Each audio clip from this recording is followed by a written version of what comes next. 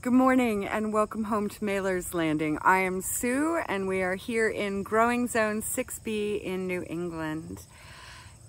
Today is the day, y'all. Today is the day I'm gonna rip out these tomatoes. Tomato season is officially over here by us. Let me show you what's going on. So we got blight and then we got rid of blight and now we've got blight again and then it stopped raining for like a minute and stuff is growing back but it's not doing well and uh, it's so depressing. And you know, I've been putting this off. I've been, this is week three. Um, this is the end of my third week of putting this off. It's just, you know, I'll go outside and I'll be like, oh no, it looks better. And then I realize these poor tomatoes have almost nothing left to photosynthesize with because as the leaves have been going bad, I've been pulling them off and dude, so it's the day. I'm gonna do it today. I have some lovely brassica starts from the farm store that I'm gonna put in. Um, and, oh, so there's still a bunch of green tomatoes. I'm gonna bring in all the green tomatoes. Lib said something, this is so interesting. He's been doing some brewing and some fermentation stuff. He and I totally missed our fermentation arc at the beginning of quarantine and there may be sourdough. I don't know. We're, we're playing with yeast and all kinds of stuff right now. So he had mentioned a green tomato wine, which sounds repulsive in theory, but I've cooked a lot of things that I was like, oh, I don't know about this. And then they turned out to be great. so I'm gonna go through, I'm gonna pull the plants out wholesale. Any tomatoes that are blushing will go into the pile with the others in the windowsill and anything that's green, I'll save them for Lib. Um, Never fear, there are a handful of tomato plants and they're mostly the volunteers, which I find hilarious, um, that are still doing okay. So we will have some tomatoes coming in, just none of the ones that I planted. um, so yeah, I'm gonna save Lib the green tomatoes. I will put the blushers in the windowsill with the others and here we go. Let's get these out of here.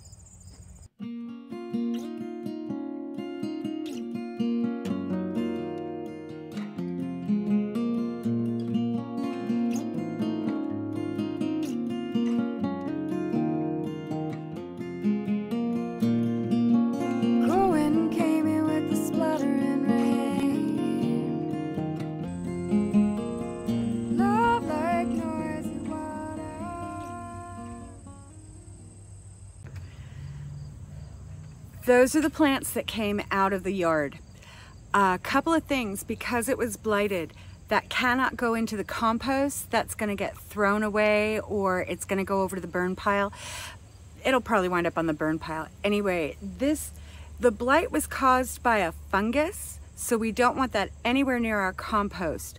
We also, next year, are gonna have to find a new spot to plant the tomatoes because that blight, that fungus, it sticks around for a while.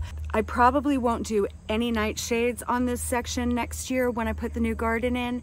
Um, just let's give it a year or two away from that blight and then we can do nightshades in here. But the other side of the garden's wide open for nightshades. So we'll do the tomatoes over there next year. Okay, the job is done. Not that backbreaking, little bit heartbreaking, hurts my feelings.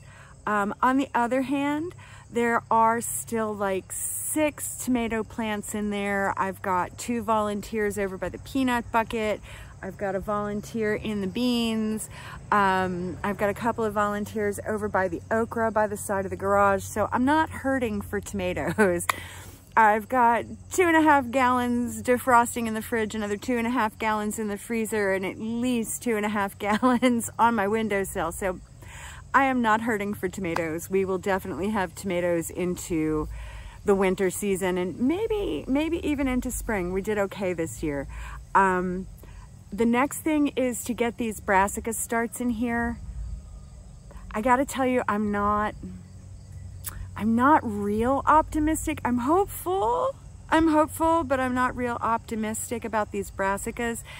Um, so, well, you know what, let me take that back. There's bok choy in there that I am 100% certain we will use because you can use bok choy even when it's itty bitty. So if it gets this big, great, we can still eat it.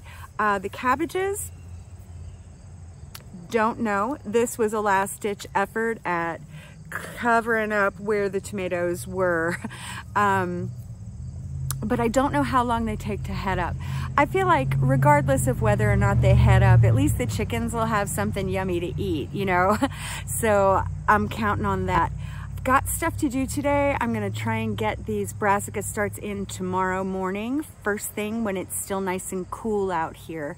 So I'll bring them out when, ooh, less bugs. So I'll bring the brassica starts out with me in the morning when I tend to the burbs. But for now, I've got to take care of the other stuff. So I'll catch you up in a little bit.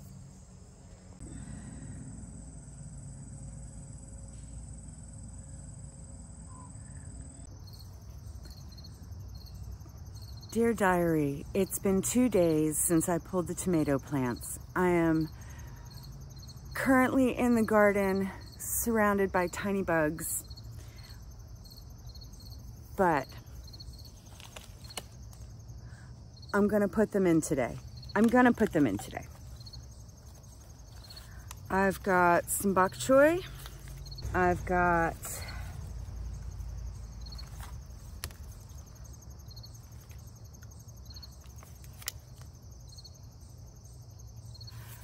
some amazing cauliflower and some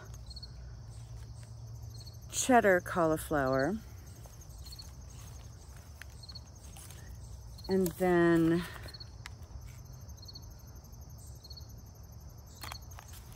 red cabbage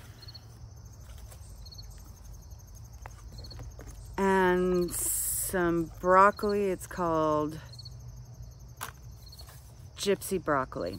Um, so all of this stuff has been sitting on the porch, has been sitting on the porch for like three weeks and I feel like a dick.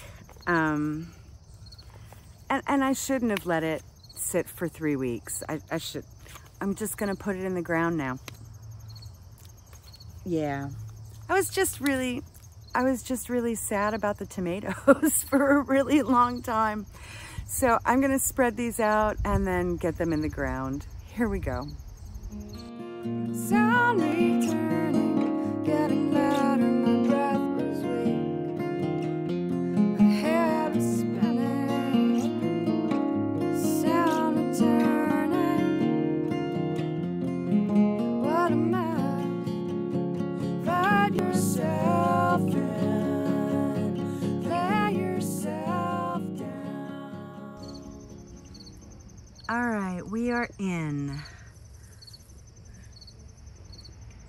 brassicas for days.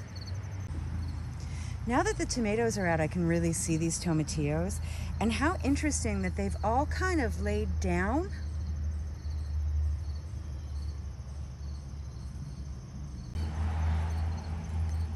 You can really see it from this angle, how it's sort of laid down. This is back to the way that everything started to follow the light. For example, these marigolds started out all over there on the left and they just sort of grew into this magnificent hedge over here.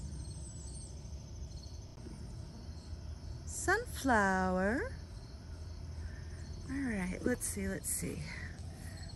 So over here we have the zucchini, this plant and the one next to it, and they're still doing pretty good in spite of a little bit of powdery mildew going on. I don't know what's going to happen with the winter squash as we get into the season. But hey, check it out. That's a butternut squash ripening up. And then there's this guy, and I'm not sure what it is, but I'm really hoping it's an acorn squash because I planted those just for Bill. And there's another butternut. Oh, Turkish orange eggplant, and these are ready to pick. Look at these things, they're so freaking cute.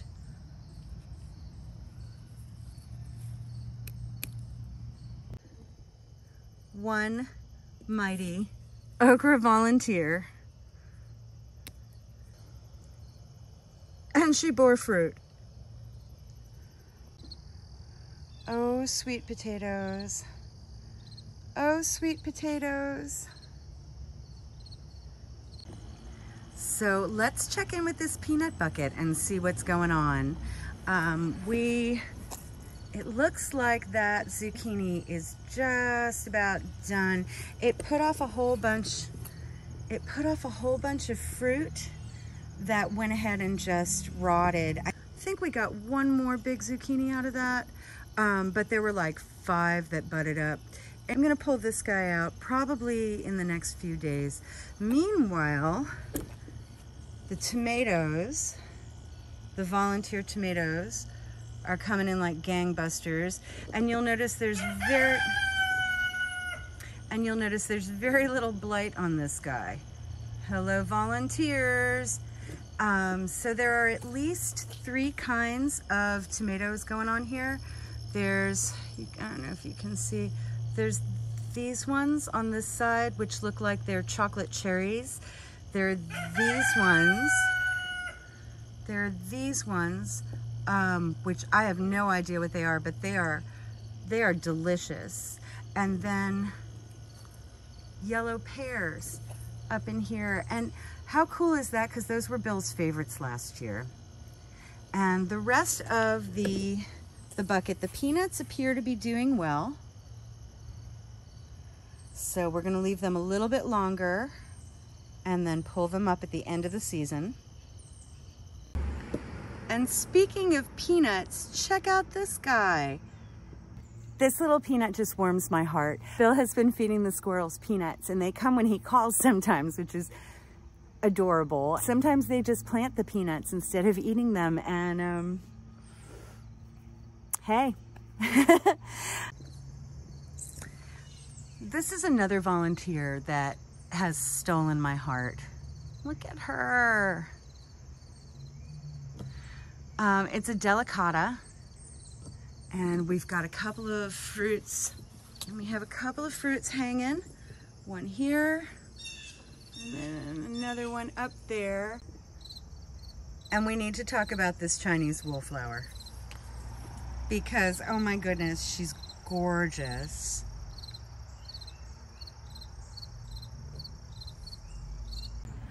I have to tell you about this wallflower because it's ridiculous. Chinese wallflower was on the cover of this year's Baker Creek seed catalog and I was immediately swept away. So I ordered some seeds and I planted out like a tray of them and nothing happened keep in mind this is my first year in the greenhouse so it was probably user error not Baker Creek anyway nothing came up and I dumped all the dirt into a tub and I wound up using that tub for some basil and dill and some volunteer tomatoes of course um, and this weed started coming up and I was like oh it's kind of a pretty weed I wonder what it is I'm really glad I didn't pull it up because it's Chinese wallflower, um, which uh, the seeds from the original mix, they must have just taken their time. I'm, I'm watching over that little, that little darling very closely. little pocket harvest of okra for today. Um, this one came off that cute little volunteer over by the cucumbers that I'm gonna pull down. And then a whole bunch of this Turkish orange eggplant.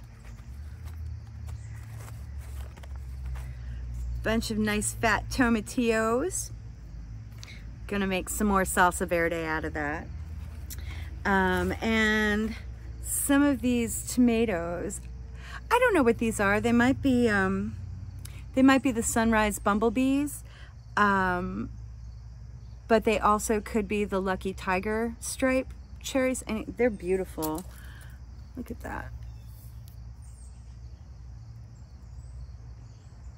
And these have been incredibly prolific. I, I fully admit I've made that TikTok pasta um, with the cherries out of our garden probably four times since the beginning of the season. So I have nothing to complain about about those tomatoes. They've done right by us. Got a full day in front of me. Um, Mom and Aunt Sarah are coming over in a little bit. I've got cucumbers sitting in my sink ready to pickle. Got them at uh, Breezy Gardens. I did not get those out of my garden. If you're ever in Leicester, check them out. They have a great farm stand. Um, so I'm gonna get on that cucumber business. I got a whole bunch of garlic to peel for it. Thank you so much for hanging out with me. I will catch you up soon. Take care.